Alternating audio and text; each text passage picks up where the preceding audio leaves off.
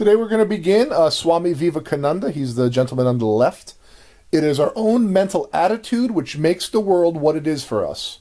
Our thoughts make things beautiful. Our thoughts make things ugly. The whole world is in our minds. Learn to see things in the proper light. This is one of my favorite thought, um, favorite quotes. In the idea about our thoughts making things beautiful and ugly, it has to do with our mindset. So today's philosophy is called Advaita Vedanta. It's a philosophical part of uh, Indian Hinduism. It's not religious in any way, but it's rather a different way of thinking. So, as I said, Advaita Vedanta is one of the six philosophical schools of Hinduism, and it was first brought to America by this Indian monk, Swami Vivekananda, at the Chicago's World Fair in 1893. So, Swami Vivekananda arrived in Chicago at the World's Fair in 1893 in all of his robes and turban. He had spent two months on a boat from India, and his goal was to bring his philosophy to America. So, Vivekananda, when he explained Advaita Vedanta, it was so enthusiastically received by the people there that he ended up actually traveling around the country, believe it or not, almost like a rock star. People wanted to see what this this strange man from the uh, from the land of India had to say. Um, in, fact, he had a lot of uh, famous followers. People like Leo Tolstoy, J.D. Salinger, who wrote Catcher in the Rye, Aldous Huxley, who wrote The Doors of Perception, Gandhi, George Harrison of the Beatles, they all were exposed to his teaching. Um, supposedly, J.D. Salinger, who wrote Catcher in the Rye, he wrote that during World War II while he was actually fighting. And after he learned, he was tortured by everything he'd seen. He'd seen the concentration camps. And after he heard the, the teachings and read the teachings of Swami Vivekananda, he ended up becoming a recluse and he never published another book, although there's rumors he wrote books the rest of his life for himself. He never needed to have them published because he didn't need to have anybody like or dislike them. For him, writing was an individual purpose. George Harrison of the Beatles, if you like the Beatles, he had a song called I, Me, Mine, which is definitely influenced by the concept that generally speaking, most of us are always I, Me, Mine all day long. And perhaps, you know, as he says, these tears, um, the I, Me, Mine viewpoint, the more we focus on that, potentially the more we suffer. There's a story about John Rockefeller. Now, John Rockefeller was uh, one of the couple of richest people in the world. Um, he was the oil guy. 30 Rock, where the uh, Saturday Night Live is filmed and the Christmas tree is, is, is, Rockefeller. He had heard about Swami Vivekananda and he went to his office one, went to, went to where Swami was one day and pushed his way through the secretary and went in. And Swami Vivekananda was in the middle of a meditation. And Rockefeller wanted to know what, what was this, this big hype about this guy. Rockefeller was very impatient. He wanted to know, everybody wanted to talk to this Swami guy. And nobody really knows what happened in the conversation. But he left, and Rockefeller appeared to be very upset when he left. And when he came back the next day, he came in and he threw a piece of paper on Swami Vivekananda's desk, and the piece of paper had to do with charity. Apparently, what Swami Vivekananda said is, collecting more and more and more money for yourself, is that really bringing you joy? And if you understand the idea of um, philanthropy, Rockefeller, after he became the richest, along with uh, Andrew Carnegie, he then began the idea of philanthropy of who could give away more money. His competition went from who could make more through manipulating workers and, and uh, suppliers. It went from that into how who could give away more. And apparently it happened after Swami Vivekananda spoke with him. So, Advaita Vedanta has a number of interrelated concepts. The first is the self and the ego. We've been talking about the ego. The second is the Maya, which is the illusion. And finally, non duality. Now, if you understand one and two, I'll be very happy. Number three, non duality is wicked difficult. Some of you are going to get it and agree with it. Some of you are going to think it's not for you, and that's fine. So, here's the question How would you have been different if you grew up in a different time period? I'm not saying you guys would have dressed like this or had hair like this, but would you have? Ultimately, depending on the time period that we grow up, our fashions, our thoughts, our beliefs, our lives are going to be very, very different. Not because we choose it, but because potentially that's what society has made it for us. Our minds will coexist and interconnect with these particular time periods. So look at society today, our family, friends, culture, etc., etc. It plays such a big role in how you think and how you're conditioned. If you grew up in the 80s, you'd have the big hair. If you grew up in the 70s, you'd have the mohawk. If you grew up in the 60s, it'd be peace, love, and happiness. So the question is, how does society influence people today? Well, an example I think of is this crappy TV show Catfish. It was based on a crappy made up movie. Uh, they said it was real, but it wasn't. And the idea of catfishing somebody is to fool somebody online about who you really are. It wasn't something that was very prevalent. I'm sure it happened. But once they made the little crappy documentary, which wasn't a documentary, it was made up, now we've got a nation of people catfishing each other. It's a thing, it's known another show on MTV as well, the uh, OG Teen Mom or whatever it is. I saw an interview with a girl who was 12 who said, I can't wait until I'm 13 so I can be on this show. The idea that you're looking to be 13 and have a kid so you can get fame because you're on MTV is kind of questionable to me. And the idea is we are sponges. Our minds are sponges, and we're so conditioned by the present moment.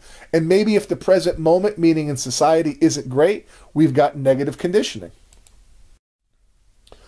Whatever differs between who you are and who you would be then could be called the egoic mind. The idea is you've accumulated all of this conditioning and all of your perceptions, and that's become your mind. This conditioned mind is where your repetitive thoughts are going to come from. This is just a re- review a little bit from the other day. Some examples of the egoic mind. You miss the big shot or you trip and fall. I, uh, Cristiano Ronaldo is one of the greatest soccer players in history. He's a good looking guy. He's a rich guy, amazing soccer player. I watched him in a game, pass was made to him, and he went to shoot it and he hit it over the net. And then he began looking at his shoe and looking at the ground. When you watched it in slow motion, he just missed the shot. But he, even he, needed an excuse for why this happened. Do you need to protect yourself and have an excuse to protect who you need everybody to think you are? If you fall down going down the stairs, you're going to need an excuse for why you did it. Otherwise, everybody else is going to think negatively of you. And the idea that we care so much about this is one of the tortures that the egoic mind gives us. Another example how does judging make us feel superior or inferior? I heard a comedian and he said, When I feel bad, I heard him say it twice. One time he said, When I feel real bad, I just go to IHOP. And the other time he said, I just go to Walmart. And the concept is I go there and I realize I'm not these people. I'm looking down upon them. Now, when I say this, some people laugh because it's, oh, it's so true. There are some circus freaks who are at IHOP or Walmart, blah, blah, blah. And then other people are thinking, whoa, wait a minute. I shop at Walmart. I eat at IHOP. Am I a less than? The idea of this judging is just, is, is funny and tragic at the same time. Problems of the egoic mind, I like that thing in the bottom, speaking your mind, blah, blah, blah. It's the same thing every day. We judge. We judge so much. Westerners, we're so analytical. We're always looking at how we're different, how we're better, how we're worse, instead of where Eastern maybe looks more at how we are similar. It's the me versus we. Me is the Western view, we is more of the Eastern view. Comparison, as we've talked about, starts in school with class rank, rank and file. Problems of the egoic mind. We tend to feel we need to have an opinion about everything. And not only that, everybody needs to know what I think. Guess what? They don't. The idea social media has some positives, has a lot of negatives. One of the negatives is everybody's got to, you know, chime in with their own opinion on everything. Eastern philosophy says you don't need an opinion on everything. You could just exist with what is. An opinion is, I like this, I don't like this all of these aversions and all of these attractions really don't help us at all. The overanalyzing of life creates overanalyzing in our mind, which leads to negative mindsets. Social media reinforces this, as we said. The more than or less than illusion we've used to establish our value, it limits who we really are. If you think I don't want, most kids, I'll give you an example, they don't want to be called on in class because they might say the wrong answer. Well, guess what? I say the wrong answer sometimes. But the idea at some point somebody said the wrong answer and somebody laughed at them is enough to get them to never extend themselves because they don't want to be seen as a less than.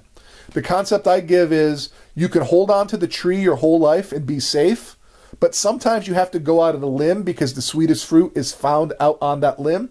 You might fall, you might have to take a chance. But when you stop seeing yourself as inferior if you're wrong, when in fact everybody is wrong, life becomes a little bit different. We stop limiting ourselves. I like it on the right side. Competitive meditation. Dang, he's pulling ahead again. The day will come when men will study history from a different light and find that competition is simply a thing on the way and not necessary to evolution at all. This is hated by most of my hard, hard achieving Western kids in class, which you're all Western kids, obviously. Why do we feel the need to compete with each other? Who are we proving ourselves to? We're really proving we're proving ourselves that we're value. We, we we're, we're patting ourselves on the head. I won. I got a trophy. I'm, I have number two in the class. I'm not number one, so therefore I'm somehow inferior. This is a toxic mindset. Ramana Maharshi, we are originally unlimited and perfect. Later on, we take on limitations and we become the mind or the ego. The limitations we take on are the thoughts we have that we can't do something. Just saying you can't do something is a guarantee that you will not be able to. Are you really perfect as you are? I ask this question and kids don't say yes because they all have things that are wrong with them. And in the future, they'll be happy because those things will be fixed. I don't know if that's true. I think maybe a different mindset is what is needed.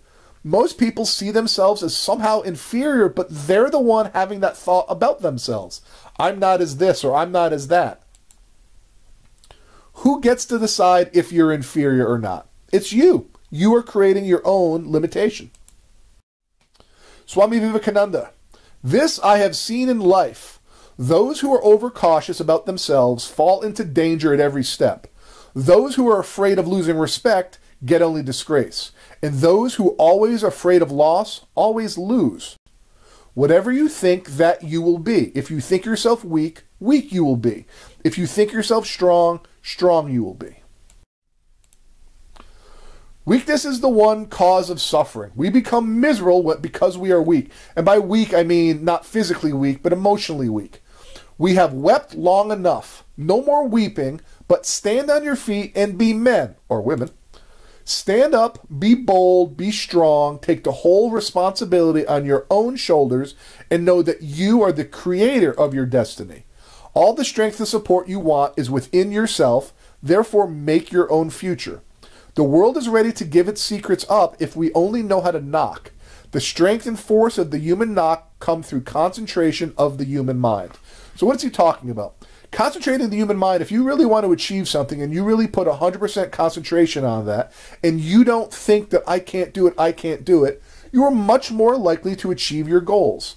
But we ourselves become victims. The whole line about no more weeping, we are victims, the woe is me, I'm not good enough.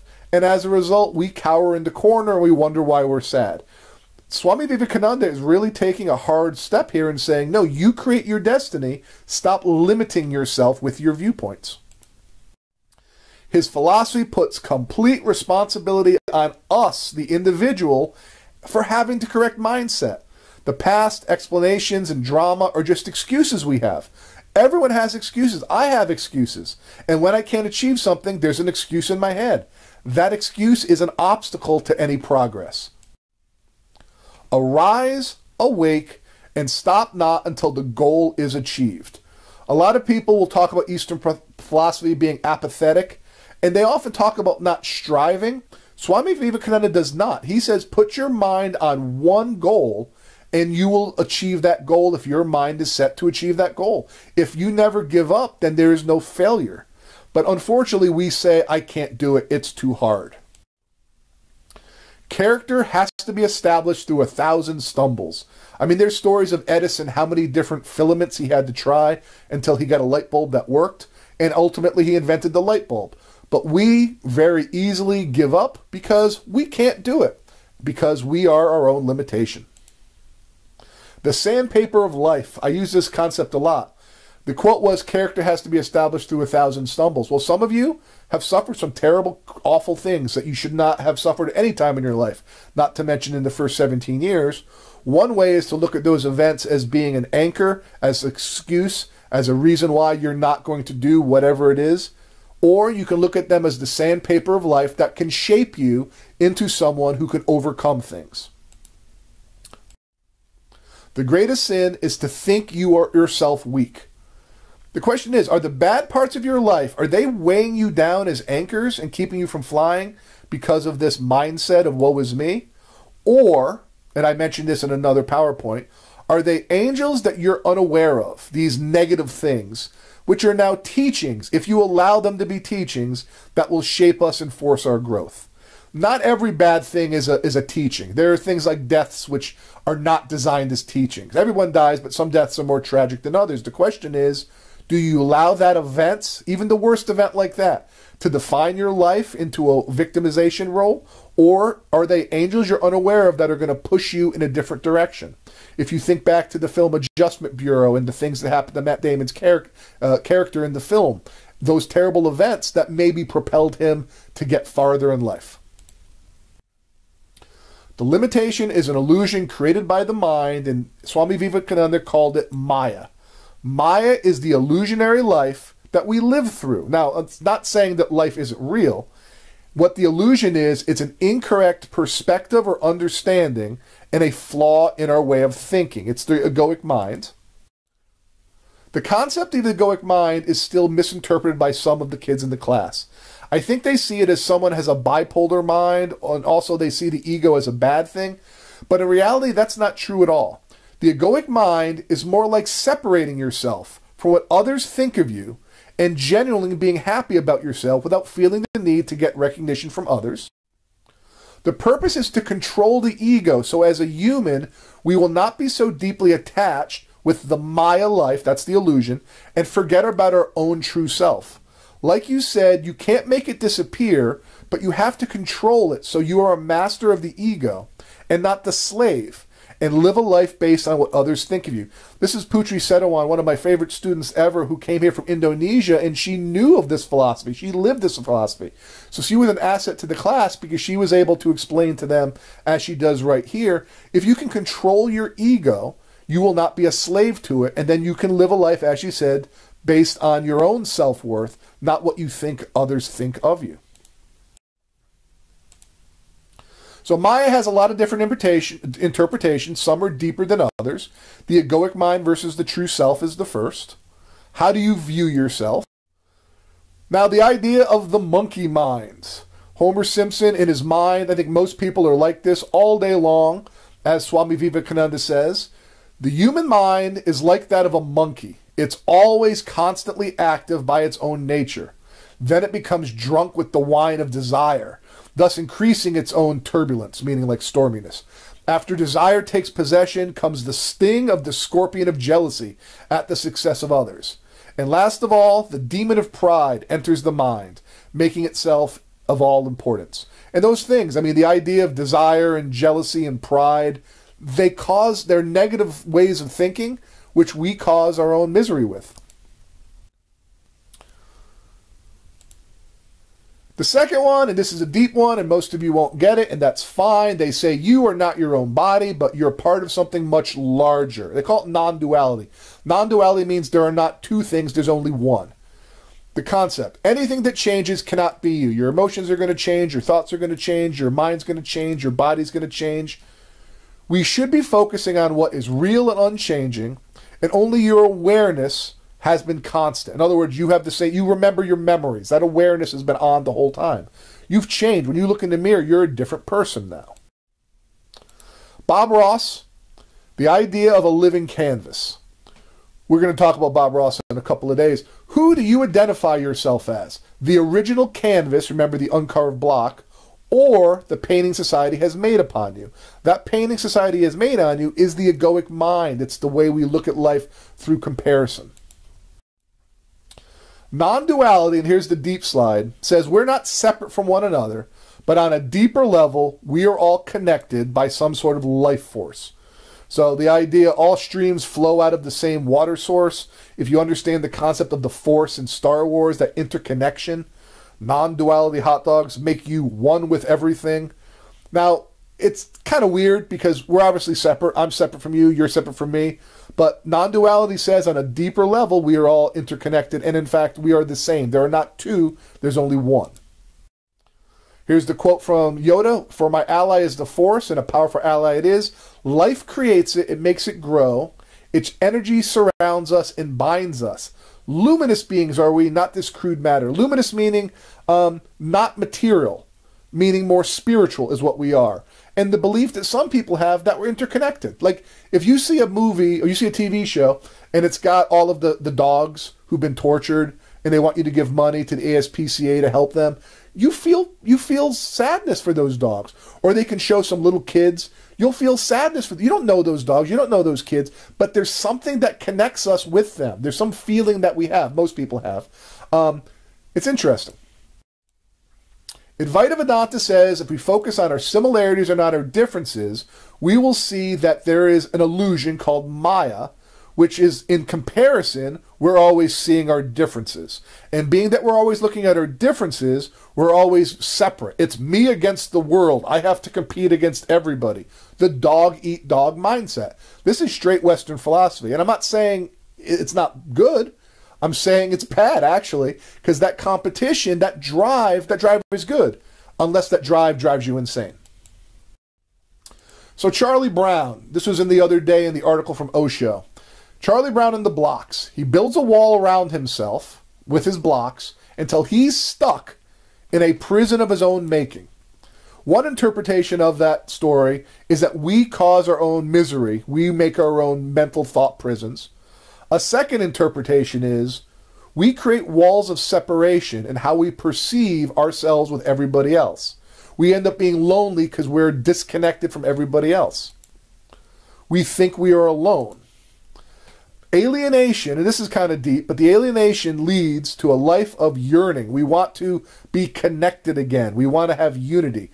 The idea is a little child, we were attached to our mother, quite literally and then our mother kept us alive via breast milk. At some point, I don't know at what age, age one or age two, we all of a sudden begin to realize we are separate from mother. We cry, and mother or father picks us up and holds us again. The rest of our life, when you really think about it, what we are yearning for is to be included, to be connected, to be in unity, to belong with others. Social life in the West is like a sound of laughter but underneath it's a wail or a cry, and it ends in a sob. The fun is all on the surface, really, it's full of tragic intensity.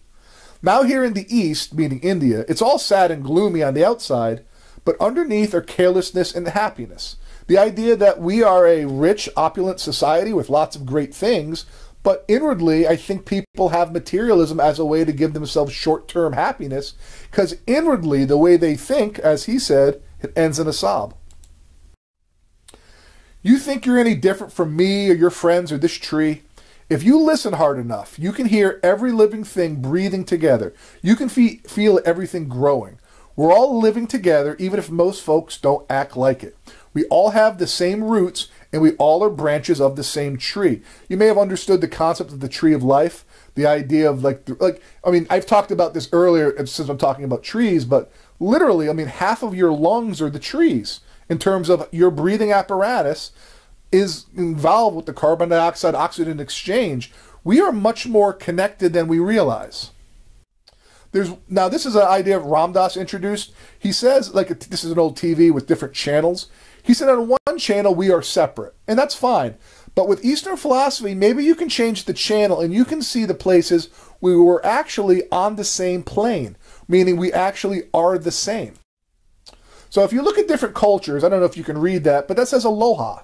Everybody knows it's from Hawaii, and if I ask kids what it means, they'll say, oh, it's hello and goodbye. Well, they say it when they see somebody and they say it when they're leaving, but what aloha means is it's an acknowledgement of the symbiotic relationship you have with everything in the universe around you humans, animals, plants. Symbiotic means working in, in, in connection.